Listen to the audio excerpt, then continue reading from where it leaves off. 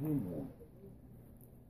I wouldn't mind having a, a little bitty gun like that just so I could put it in my pocket and you wouldn't have to be bothered with, you know, I just like keep one with me. And, uh, David said, if you want to, he said, well, I'll just go ahead and pay for the thing. And he